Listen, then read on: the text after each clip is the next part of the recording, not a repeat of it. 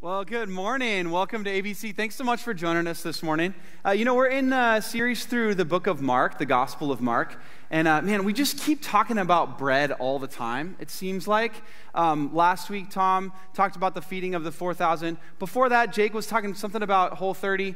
And uh, this morning, as I'm kind of looking at the passage, um, it's, it's about bread. And I thought, you know, I, I can't make it through another sermon uh, about bread without having some bread. I'm just going to get too hungry. And so I brought some bread. Oh my gosh, you guys, it's still a little bit warm. Um, this is super good. I wish I had some for you. Um, but mm, it's really like really soft still. Super good. Okay, so we're talking about bread. Jesus is really all about bread. He loves bread, and he breaks bread and he multiplies bread. This morning, you know, we're looking at a passage where he talks about leaven, but we're gonna we're gonna look at the bread together. And if you don't mind, I'm just gonna snack a little bit because it's just too good. So it's like fluffy and warm. And Caleb heated it up for me in the cafe. You guys come get some later. But I'll just, yeah, we'll, we'll break it maybe and see how far it goes. Um, so we're talking about bread, and, and I started thinking about what makes this bread so good. And I started researching a little bit. This is made by the Wonder Bread Company. There's a reason they call it Wonder Bread, right? There's no list of ingredients, but there is yeast in this bread. Here's the thing that's funny about yeast I found out. Just let me choke for a second. Um, the thing about yeast is when there's flour and there's water and they combine and they start to activate the enzymes, it creates two different types of sugar. One, one of them is called an ethyl alcohol sugar. And when you add yeast to that type of sugar, it creates this reaction where if it's this nice, spongy, delicious, soft, glutinous, not gluttonous, glutinous, um, stretchy bread substance, if it's elastic enough, what happens is those, those yeast activations form these little tiny air bubbles, these little pockets, and they kind of inflate the dough like a, like a balloon. And it makes it warm and delicious and airy and fluffy and perfect. And that's why they call it wonder bread, because it's just wonderful when you sink your teeth into it. If you're gluten intolerant, I'm really sorry. But it's just delicious. And so the yeast actually creates this amazing, soft, beautiful, delicious substance called bread. And in Mark chapter 8, Jesus says this morning, Watch out, beware of the leaven or the yeast.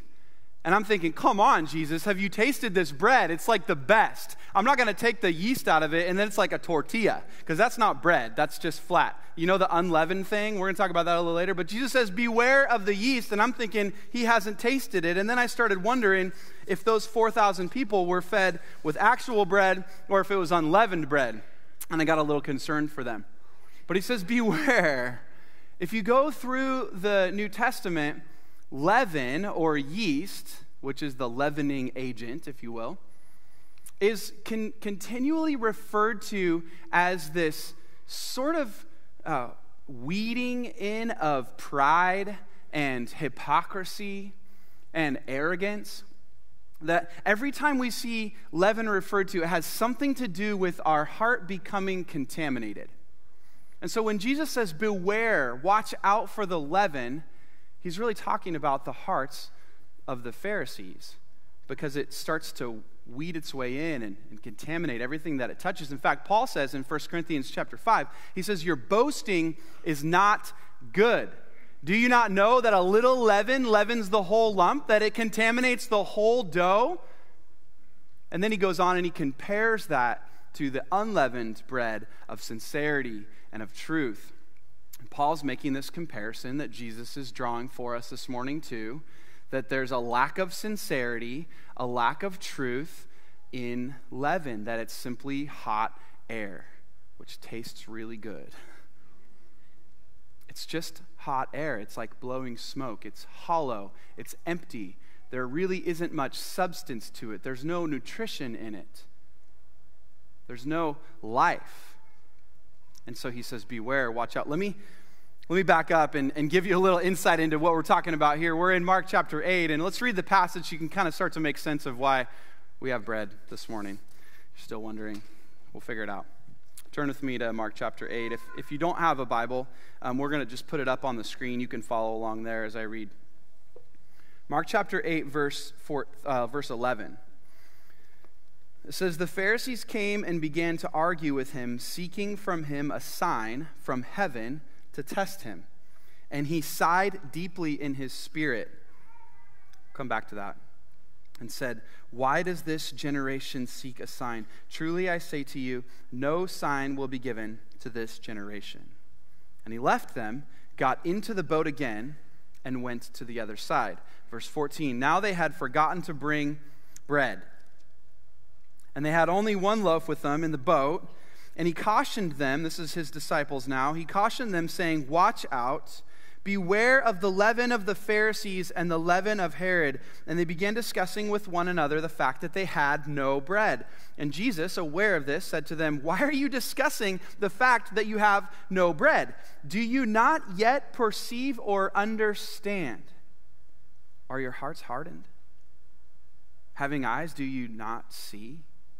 And having ears, do you not hear? And do you not remember? when I broke the five loaves for the 5,000, how many basketfuls did I have of broken pieces did you take up? They said to him, 12. And the seven for the 4,000, how many baskets full of broken pieces did you take up? And they said to him, Seven. And he said to them, Do you not understand? Let me put the pieces together for you here in just a second, see what Jesus is really getting at with his disciples. So, what took place last week, if you joined us and heard Pastor Tom's message on feeding of the 4,000 and then he, he, healing of this deaf man, is they're on the eastern side of the Sea of Galilee. And it says that he took up the five loaves and he broke the bread and he fed 4,000 people on this shore of the Sea of Galilee. Then they get into the boat. They make their way back over across, they head west and get to the other side of the Sea of Galilee, back where the Pharisees were kind of waiting for him. And so they pull the boat into shore, and there's a possibility that the disciples at that point had these seven basketfuls of bread that they were offloading from the boat because they likely would have given those baskets to the poor. And so imagine them coming into shore, docking the boat, starting to unload baskets of bread, and then the, the Pharisees engage Jesus and they say, Give us a sign from heaven. Prove to us that you really are God. Imagine for just a minute Jesus glancing over the shoulder of those Pharisees, watching his disciples offload baskets of bread in which he just fed 4,000 people out of thin air. And he says, I'm going to get a sign. The signs are all around you. You've seen it all. Look at the miracles that I've performed. Look at the things that I've said that, that have changed your way of thinking. Look at all of the things that I've done right in front of you, and you've missed it all. And in fact, he's watching these basketful, quite likely, basketfuls of bread get unloaded from this boat and, and realizing that in, right in front of their eyes is a sign. And he says, You're not going to get a sign. So he sighs in frustration. These guys are going to miss it. They're never going to get a sign. In fact, in Matthew chapter 16, Jesus says, The only sign you're going to get is the sign of Jonah. It's representative of the death, the burial for three days, and then the resurrection. But he says that sign, even you'll miss. This generation will not get a sign. You won't see it, you're going to miss it. And so, Jesus leaves the Pharisees frustrated, gets back into the boat with his disciples. They start paddling offshore and then this squabbling takes place amongst his disciples. I imagine in that moment, Jesus is sort of distant. His heart is still heavy with the Pharisees. He's still a little frustrated, a little discouraged. He's still sighing in his mind, staring off into the horizon, and he calls out to his disciples Watch out! Beware of the leaven of the Pharisees. They're like, What? Where's that coming from? Leaven. And they go, Oh, it's because we forgot the bread.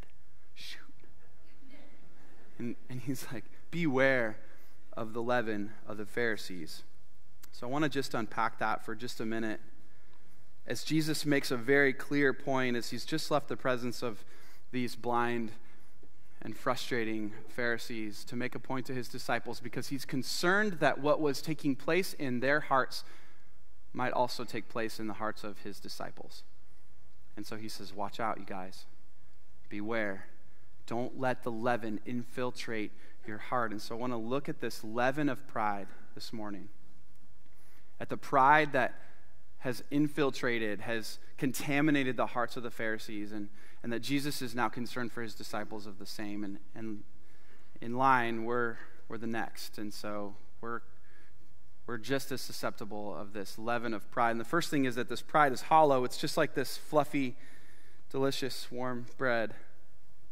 I'm not going to try to eat anymore, I won't be able to talk. It's hollow, there's nothing there of substance. In fact, pride puffs up like hot air, doesn't it? And, and the interesting thing about leaven is, Paul said in 1 Corinthians, that it leavens the whole lump, that it starts to breed, that it contaminates everything it touches, and so does pride as you and I interact with one another. If, if I puff up, if I ante up in a sense, if I start being arrogant in your presence, or I, I start to uh, make some bold statements, then your human, maybe your fleshly reaction is going to be the same. You're going to be like, oh, yeah? Well, let's go. You want to go? My dad's bigger than your dad. My dad's stronger than you. My dad can beat up your dad, right? It's what we do. We puff up and we get to this point where we're battling with ego because if you puff up, I'm going to puff up right back at you. You know who the worst is? Jeff Erkey behind the driving uh, steering wheel of a car. My wife will tell you. Seriously, I, she says, I don't know what it is. Uh, it, maybe it's like the false sense of protection from the glass and the doors or the fact that people can't hear you, but you're like the worst. something something happens when you get behind the driver's and it is and i don't i'm not proud of it but you guys i'm that guy that when uh, someone comes up behind me okay so maybe this has been you and if if it has been you i'm not that sorry because you shouldn't have done it. But i'll drive you know maybe like 70 miles an hour in the left lane. I know that's a little bit over the speed limit but let's say there was an emergency maybe i'd be driving 70 in the left lane. And somebody comes up behind me going like 90 miles an hour and they come as fast as they can and they get as close as they possibly can to my bumper. Have you ever had someone do that to you? And then what they do if you don't even allude to the fact that you might move, then or if they if you don't look in the rear view mirror, they think maybe this person hasn't seen me. They'll flash their lights. Oh, it's on now.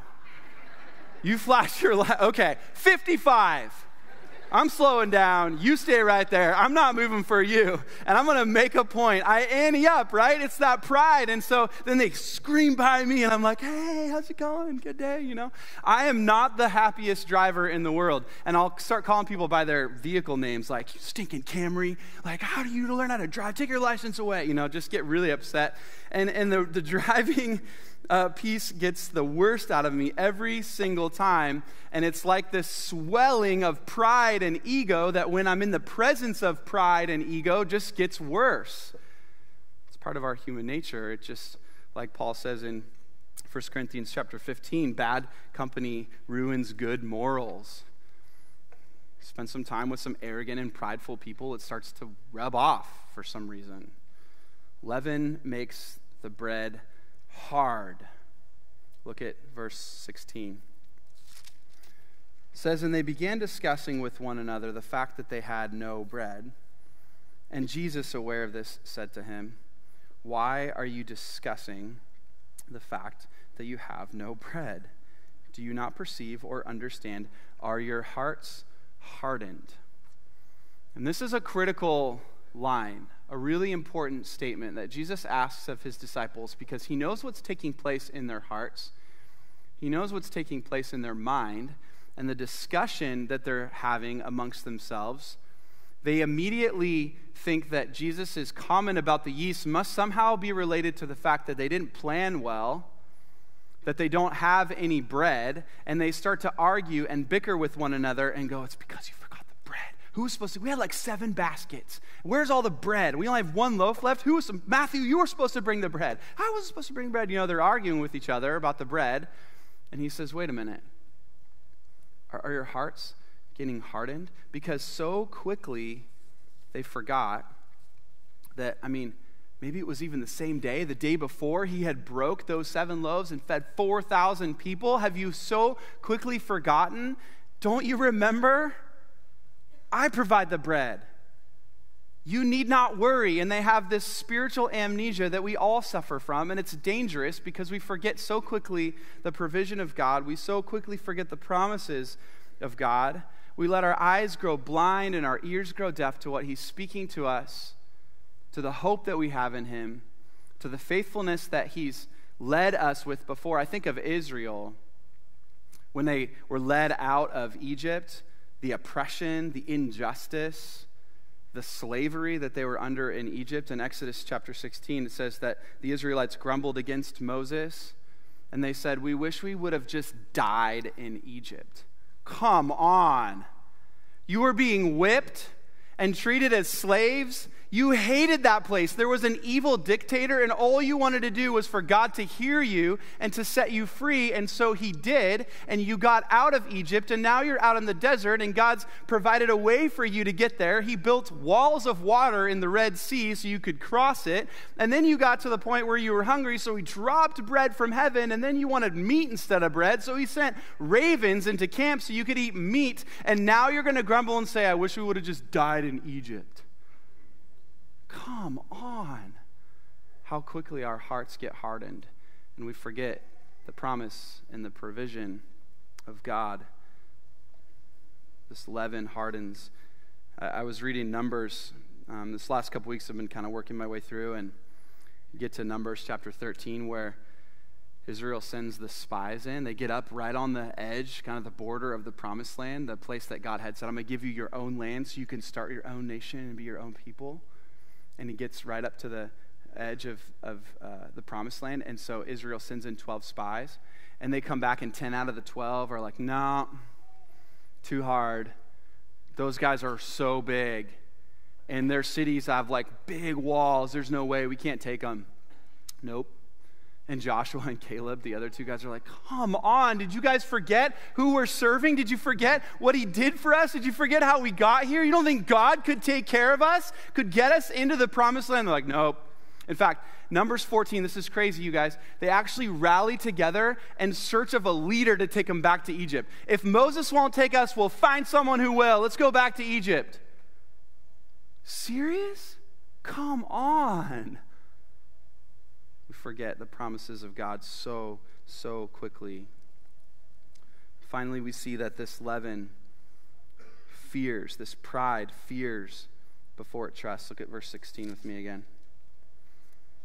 And they began discussing with one another the fact that they had no bread. I want to focus in on this line for just a second here. Just imagine the scene again disciples in the boat, just having left where Jesus was engaging with the Pharisees having come back across from the Decapolis where he fed 4,000 people, they're sitting in the boat with Jesus, 13 guys in the boat, theoretically, and they begin discussing, We only have one loaf of bread? What are we going to do? What? And Jesus is shocked by this. He's like, wait a minute, you guys, do you not know who I am? Did you not see what I did? Do you not think I could take care of this so easily? They began discussing the fact that they had no bread. It's in our pride that we're prone to suspicion, we're prone to worry, we're prone to be anxious, we're prone to fear more than to trust. Why? Because our pride says, I should have figured it out. I'm smart, I'm capable, I'm a planner, I'm gifted, I'm strong, I can get enough bread. I could, could have provided for myself. I could have brought food if I had known he wasn't going to. It's in our pride. If I don't do it, no one else will. How many times you guys said that? I say it a lot. I'm trying to say it less. We just sang this song uh, as Jake was leading us in worship. Powerful song. Jesus paid it all. There's a line in there that, that I, as I was singing just struck me Lord, now indeed I find my power in thine alone. I find my strength in you alone, is what that song said. And I'm singing that, I'm thinking, nope. No, I don't. Because I'm strong and capable and educated, and I can plan and I can outthink it and I can prepare and I can make sure that I don't get to a point where I only have one loaf of bread. I can keep some margin, I can keep an emergency fund. I can manage relationships in a way that will allow me to keep at this nominal level so that I don't end up in an emergency. I can plan ahead, and my pride says, I got this. And Jesus says, No, you don't. You don't have this. I have this. And it's in our pride that we get to this point where fear and worry and forgetfulness start to grow like leaven, like yeast. And it permeates every single aspect of our life. It's not just in one area, because what happens is it multiplies. And worry begets worry, and anxiety grows anxiety, which breeds fear instead of trust. And so that forgetfulness will continue to grow and grow and grow until, just as Jesus said, our hearts become hardened. And so he says, Don't be like the Pharisees, you guys, please. Don't let it grow. Watch out for the leaven. Watch out for the pride. It'll get you off course, it'll blind you, it'll keep you from seeing my provision. Is it possible? Just think about this for a minute. Is it possible that the things that worry you the most, the things that you're most anxious about, or things that you lie awake at night thinking about, is it possible that those things are a result of pride? Think about it, because we wouldn't normally make the connection. We would say, oh no, it's insecurity because I worry that I'm not good enough, or I worry that I'm not going to be okay, or I worry that I'm not going to have the relationships that I hope for, or whatever those things might be. But really, isn't it a result of pride that says, no, I should, or could, or can, therefore I worry?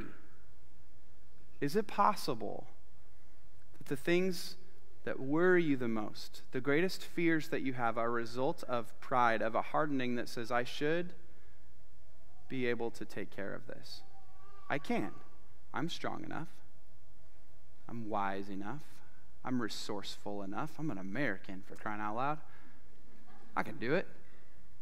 Just got to work a little harder, put a little bit of elbow grease into it, right? I got this.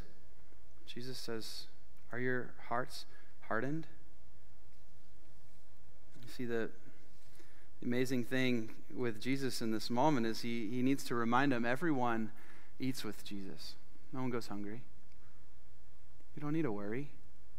You don't need to fear. And he says, How quickly have you forgotten? I mean, how, much, how long ago was it? 24, 30, maybe 40 hours ago that he fed 4,000 people that were with him for three days and they were hungry. And so he fed them. Everyone eats with Jesus. You need not worry. And in our pride, as that leaven starts to ooze its way into our heart and bleed its way through our soul, we begin to worry and we begin to come anxious. As long as we're worried about producing and creating and sustaining ourselves, we'll miss the provision that's right in front of us. Let's keep reading. There's another um, piece of scripture I want to look at as we close this morning. Verse 22 says, They came to Bethsaida. So this is after they get out of the boat again. They took their trip across. Apparently, they were fine. They didn't need to eat, or one bread became 20.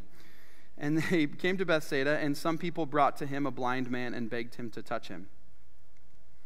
And he took the blind man by the hand and led him out of the village. And when he had spit on his eyes and laid his hands on him, he asked, Do you see anything? And he looked up and said, I see men, but they, they look like trees walking. And then Jesus laid his hands on his eyes again. And he opened his eyes. His sight was restored, and he saw everything clearly. And he sent him to his home, saying, Do not even enter the village. Now, this is a really interesting turn of events. If you look at the passage in context, we just saw Jesus feed 4,000 people. Then he healed a deaf man, as Pastor Tom shared last week. Then they get into the boat. He starts talking about leaven. We're worried about pride. We're worried about forgetfulness. We're concerned about, you know, our hearts becoming hardened. And then they get out of the boat, and Jesus goes and heals this blind man. And I ask, why is this piece of scripture tucked right here in the middle of this teaching on leaven and pride? Well, it's interesting that Jesus performs this miracle in two phases, isn't it? That he first touches his eyes and the guy can see, but he can't see real clearly. In fact, he says, I see men, but they look like trees. It's fuzzy. Jesus says, Okay, let me touch you a second time. And then he opens his eyes and it's clear. Could it be possible that Jesus is alluding to the clarity that will come as our hearts become soft, as our eyes and our ears become open to see what God is doing, that the leaven of pride will harden, but the love of Jesus will soften? The provision of God will make things clear for us, and that in that moment it wasn't clear for his disciples, but it was going to come clear really quickly. isn't it interesting that he both heals a deaf man and heals a blind man? And this passage about the leaven is sandwiched right in the middle. And here's what he says. You might have missed this when I read it earlier. Verse 18, he says to his disciples, Having eyes, do you not see?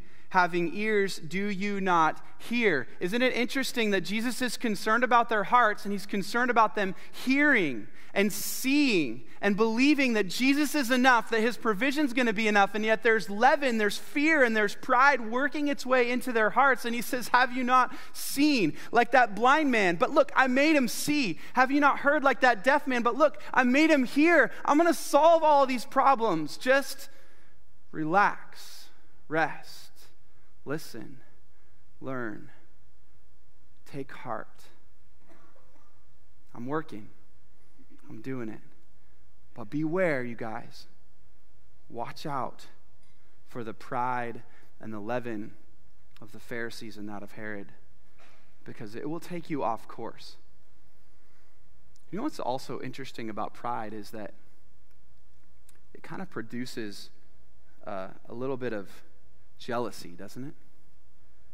I think about the way that Jesus touched these men, and Tom did such a fantastic job of talking about the physical touch. And if you weren't here last week, go back and listen to that message. But the fact that Jesus touched this deaf man and that he touched this blind man in such an intimate way, I imagine in that moment, think about a leader that you followed, maybe even a parent and how you desperately long for their attention and their touch. And then think about these 12 disciples watching this intimate interaction take place between Jesus and a deaf man, Jesus and a blind man, and he touches them with such intimacy. I imagine there would be some jealousy from those guys going, Well, he didn't touch me like that. He never took me outside the city one on one and touched me, paid attention to me, cared for me, because pride will grow in our hearts that jealousy, that longing for attention, and Jesus saying, You're right here with me. Beware. I'm going to provide. You're going to see. You're going to hear. Don't worry. You see, our pride leads to worry, but our prayer can lead to humility. Here's the, the really challenging thing about pride it's, it's virtually impossible to self diagnose pride. You can't stare at yourself in the mirror for long enough to see the areas in which you struggle with pride. There are some things that you could probably self evaluate and go, yeah, I think maybe I'm being a little bit arrogant or a little bit prideful. But for the most part, it's really, really challenging for you to self diagnose, for us to be able to think long enough, reflect for long enough, to, to even sit and meditate on our own character and our own position and posture before God and before others and go, oh, yeah, that's an area that I'm really struggling with pride. No, it's called a blind spot because you're blind to it. And so, what we need is for truth telling people in our lives to be able to say, you know what? I think there's a little bit of leaven there, and you need to watch out for it because it'll grow in your heart and it'll take over eventually. And it may be exhibiting itself right now in worry or fear, anxiety, or maybe exhibiting itself in, in poor driving habits. But either way, it's there. There's pride, there's arrogance that's growing in your heart, and you need to watch out for it. And so I want to just ask you to consider this. Would you find an honest, trustworthy person that could tell you the truth? Maybe it's a spouse or a sibling Maybe it's a parent, a loved one, accountability person, someone in your Bible study, that you could come and say, I really, I really don't want leaven to breed in my heart. I really don't want pride to grow and to take foot in my heart. Is there a way, is there an area that you see in my behavior, a way I'm acting that's prideful or arrogant? To just consider that this morning. We're going to take communion in a few minutes. Before we do, I want to invite the, the band to come back out. And we're going to sing uh, a song. And, and what my hope is, is that we s- sit in the boat with Jesus in, in a figurative way, that for just a few minutes, as, as Jake and the band are singing this song, that we could sit there in the boat for a minute and hear Jesus shout that phrase of caution beware, watch out.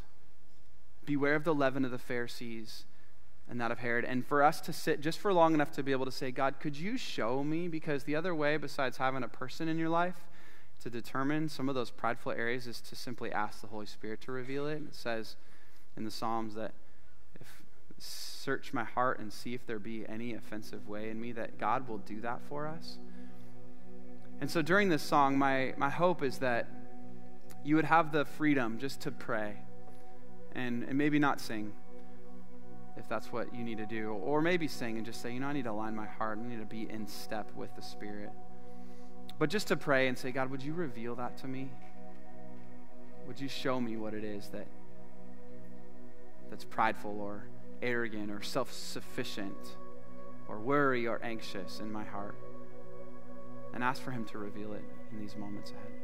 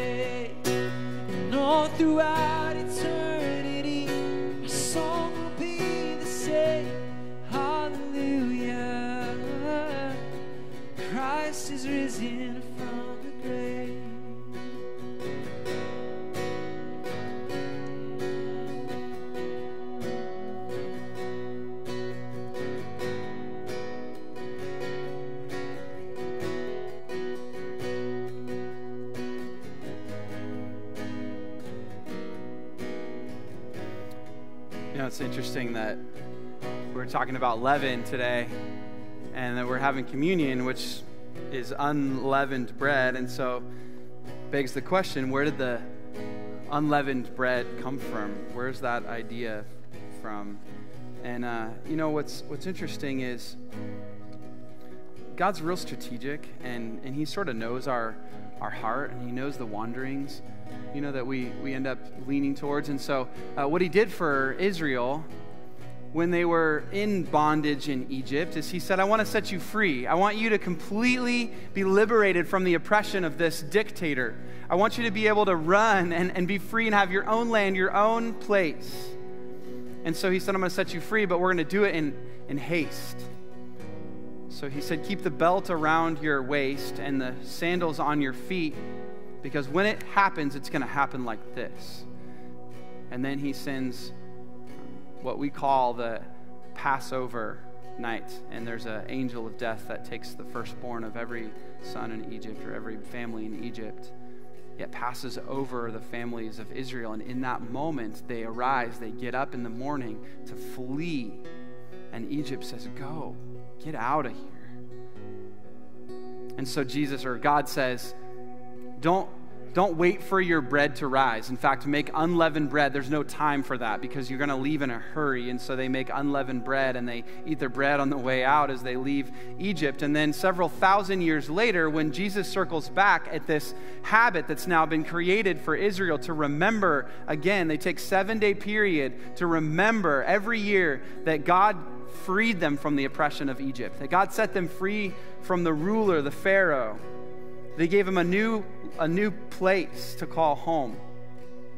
And so he says, Remember, for seven days, purge your home of all the leaven, so that you could remember what I did that day in Egypt. And then Jesus gathers up his disciples during this seven day period where Israel's remembering the faithfulness of God, and he passes out this unleavened bread, and he says, I want you to remember that with haste I will go to the cross and I will set you free from the oppression. I will set you free from fear, from anxiety, from a hopeless future. And with haste, Jesus went to the cross. And so we have this unleavened bread to remember that God did it for us. And we will never forget because He knew we'd be forgetful, He knew we'd be prone to worry. And so we take communion this morning and we take this unleavened bread. Sorry, you don't have the soft, fluffy stuff but it's on purpose. It's so that we remember God's provision. We take this bread together.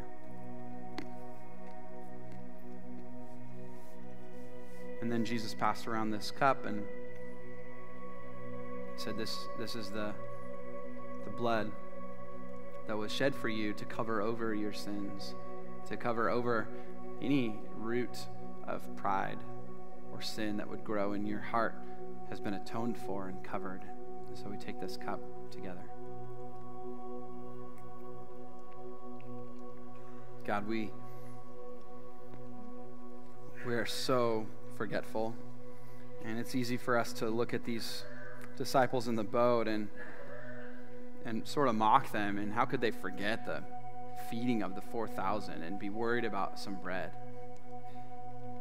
And yet you knew that they were just as prone to forget as the Pharisees were prone to forget the faithfulness and the provision of Yahweh.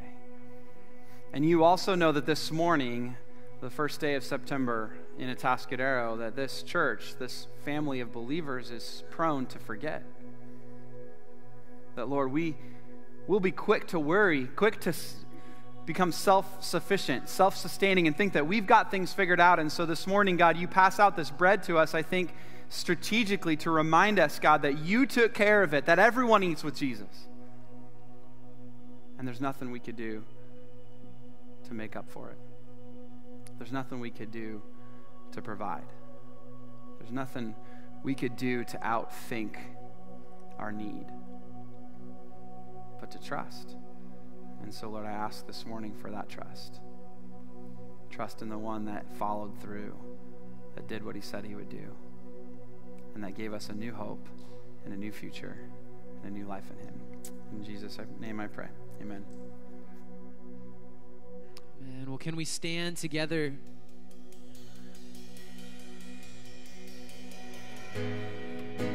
Just sing this again. Together, think on the, the work that Christ has done, think on the power that He has. Amazing grace, how sweet the sound to saved a wretch like me. For I once was lost, but now I'm found. Was blind, but now I see. Hallelujah. Christ is risen from the grave. Hallelujah. Yes, yes. Christ is risen from the grave.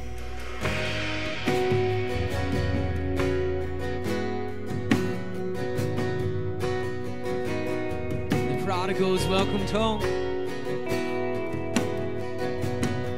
And the prodigal is welcomed home. The sinner now is saved. For the God who died and everything has changed. Hallelujah. Christ is risen from the grave. Hallelujah. Christ is risen from on, oh death. Oh death, where is your sting? Oh fear, where is your power?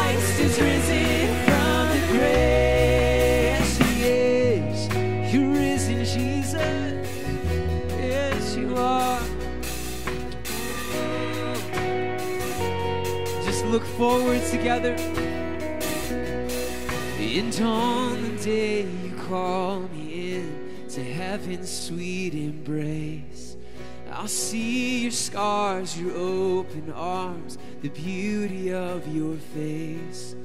Through tears of joy, I'll lift my voice in everlasting praise. Hallelujah. Christ is risen yes, he is. Oh, death, where is your sting?